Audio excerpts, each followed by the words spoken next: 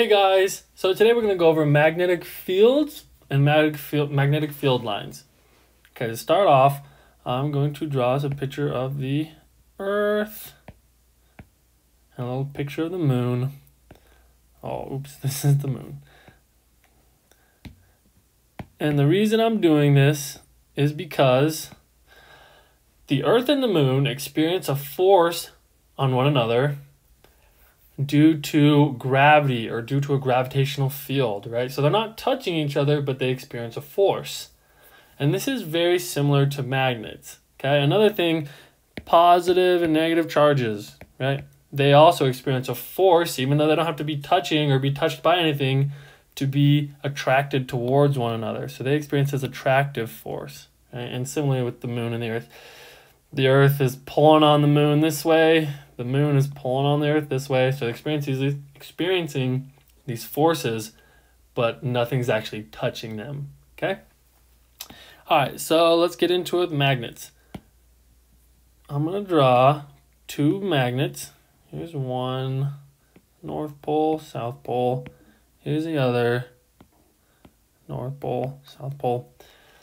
And I'm sure you've noticed when you've played with magnets, depending on how you orient them towards each other, they will either be attracted to each other or they will repel each other, right? And it's nothing that you're doing, it's just happening all on its own. They're not touching each other, there's, there's just this force there, and that is due to the magnetic field. So when magnets are oriented like this, North Pole and North Pole next to each other, they will repel each other. And when they're oriented the other way, like this, South Pole, North Pole, they are attracted to each other. Now, magnets, the magnetic field is produced by the movement of electrical charges, or the movement of charged particles. So, another way you could say that is a magnetic field is produced by current. And this the movement of these charged particles causes this electric field which has directionality and it has magnitude. So it's a vector field. Okay.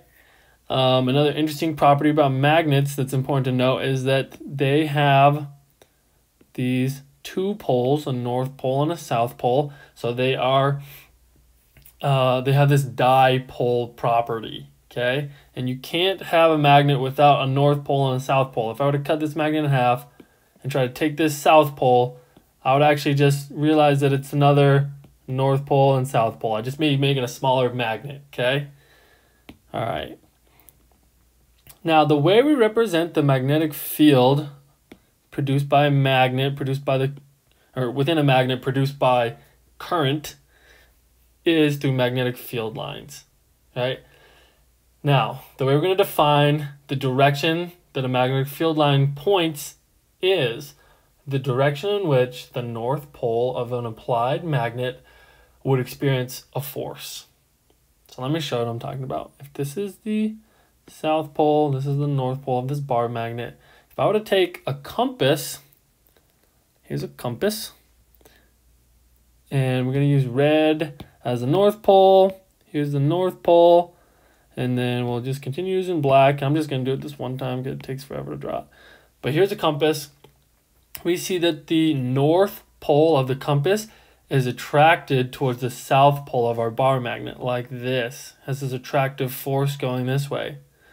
And if I would take my compass and put it on the side here, I would see that the north pole of the compass is attracted directly horizontal and the south pole of the compass is directed that way. So it'd be like this. And you can probably guess if I were to draw or put my compass right here, the south pole would be pointing towards the north pole of our bar magnet, and the north pole of the compass would be pointing away like that. Okay?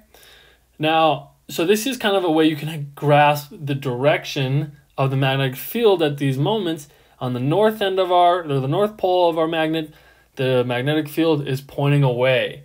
On the south pole, the magnetic field is pointing towards the um, the magnetic field is pointing towards the south pole of our magnet. So we can actually redraw this whole thing to get a better picture of it like this. I'm going to change it back to black. here's our bar magnet. Here's my north pole, here's my south pole.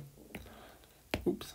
And I'm going to see it's going to look something like this, where the magnetic field is going away from the North Pole and it's being attracted towards the South Pole. And it goes all the way around on both sides, just like this. Okay? It always goes north to south. All right, cool. So that's kind of how we represent the magnetic field with these magnetic field lines.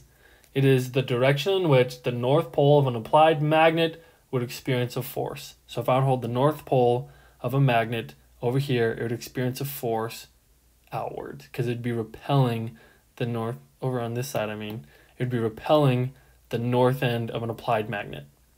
All right.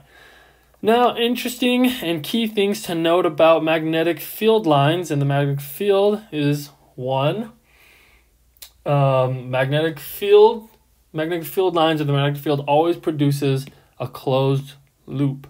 So if I have this bar magnet, here's my north pole, here's my south pole, it is going to form a closed loop in that here's my magnetic field and it goes all the way through my magnet. It doesn't just end at the south pole and begin at the north pole, it goes all the way through. Right, heading this direction. And same thing on this side, goes all the way through. Okay, so that's good to know. They form closed loops. Doesn't just disappear once we get inside the magnet. Additionally, we can see that um, magnetic field lines will never intersect with one another. So if I were to have a magnet right over here, okay, here's its uh, north pole, here's the south pole, and we have its field lines going like this. Uh-oh. We would never have them intersect with one another. So this right here would never happen. And kind of part of the reason you can think about why this is is because if you were to take a mat or a compass, I mean, and you would apply it here, what direction would the north um, pole of this compass point. Right, so I'm to use red again. Here, the North Pole would want to point, due to this field line, it would want to point kind of like this way, right? And due to this one, it would want to point this way. So the, the compass would have no way to differentiate which way to point. So these, and that's just kind of way you can think about it. This is why magnetic field lines never intersect because it completely screws with the direction of the force of the magnetic field. All right. Now, I'm going to redraw one more thing to show the last principle that I want to talk about, the last thing to note about magnetic fields, and that is, oh, I don't want to use red, and that is that the density of the field lines, North Pole, South Pole, is proportional to the strength of the force of the magnetic field. So here I go. I've got my magnetic field. And remember, they actually go all the way through. They're continuous loops. So, and they don't intersect, even though it looks like I'm kind of drawing them intersecting. Uh, I apologize for that. But here we go. So here, these are my magnetic field lines, and they're going like this way, right? They go from north to south. If I were to look at this point right here, I have one magnetic field line passing through it. The density, the, the collective amount of magnetic field lines is very small, so therefore the force that is felt here due to the magnetic, magnetic field is very small. Conversely, if I look at this point right here, right at the North Pole, or right here at the South Pole, where I have a ton of magnetic field lines converging together, or not converging together, but like very close to each other, like it's much, much more densely packed, I'm going to feel a much stronger force at this point due to the magnetic field. Okay guys, thanks for watching. Uh, hope you enjoyed.